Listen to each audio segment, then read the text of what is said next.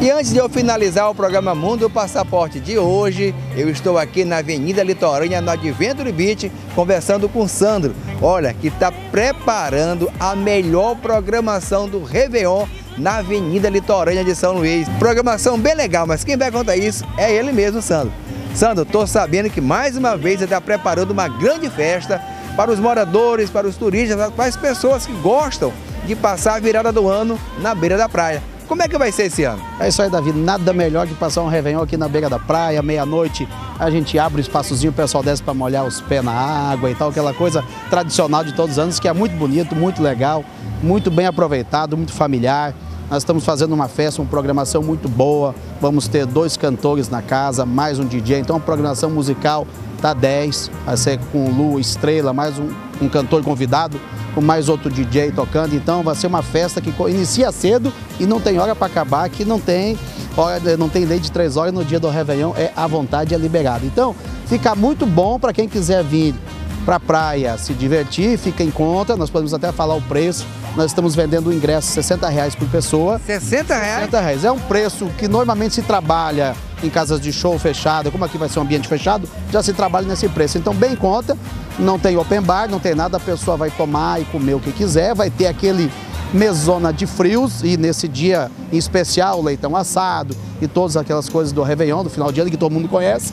Vai ter lá o professor se servir, pesar e pagar 100 gramas, 500 gramas, quanto ele for consumir. Da mesma forma com bebida que a gente faz todos os anos sem o open bar, que a gente acha muito mais favorável para o cliente. Aquela história a gente já falou, né, anteriormente, que as pessoas que às vezes não bebem, ou quase não bebem, vão pagar para aquela pessoa que bebe muito e come muito, então a gente não acha favorável para o cliente e faz dessa forma, só paga esse ingresso, que esse ingresso é pagar os custos nesse dia, que a gente também já comentou anteriormente, que nesse dia é um dia muito, num custo muito alto para poder montar a equipe, então esse, esse, ingresso é para pagar o custo de montar equipe e banda. E o resto a casa está aberta com o cardápio de sempre, normalmente, como sempre está e o povo conhece.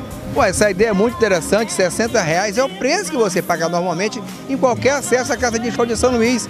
Né? Você paga 60 reais e o mais legal é que tem muita gente que paga bem mais caro, 3, 4, 5, 6 vezes mais desse preço, pelo open bar, pelo open food, que às vezes quando dá determinada hora acaba, às vezes a pessoa não consome aquilo ali e paga pelos outros. É uma ideia bem interessante, com muita segurança, o pessoal vai ver a queima de fogos, vai poder até assistir os outros shows ouvindo aqui, a programação fantástica, Sandro. É isso aí, é, realmente também tem a queima de fogos que a gente faz aqui sempre, aqui bem pertinho, o pessoal fica curtindo muito, né? Então é uma noite muito boa, nós temos aqui também o parquinho, como eu já disse, né? Que a noite de, de Réveillon é muito familiar, vem muitas famílias, muitas crianças, o pai já aproveita para trazer as crianças no parquinho, vai estar tá aqui dessa forma que está aqui desse, desse, no vídeo agora.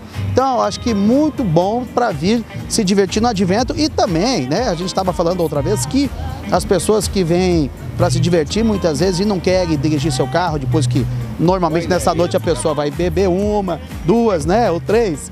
Pode se hospedar no Adventure Hotel ou então, mesmo se quiser em outro hotel. É uma boa é opção. É, é, uma boa opção. Eu até digo, se não quiser se hospedar com a gente, mas não, não dirija embriagado. Essa noite é uma noite muito especial, né? Vale a pena pagar uma diária de hotel muito mais em conta do que pagar uma multa e pôr a sua família em risco no carro.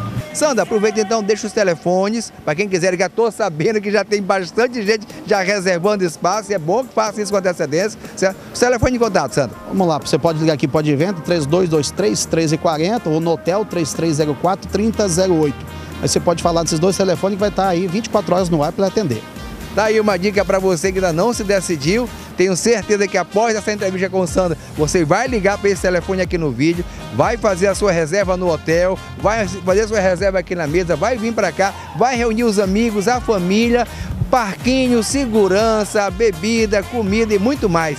E um grande detalhe, na beira da praia, você vai sentir a queima de fogos, vai se abraçar, vai se confraternizar e o melhor de tudo, curtindo o melhor Réveillon de São Luís na Avenida Litorânea. Esse que é um dos mais belos cartões postais da capital do Maranhão.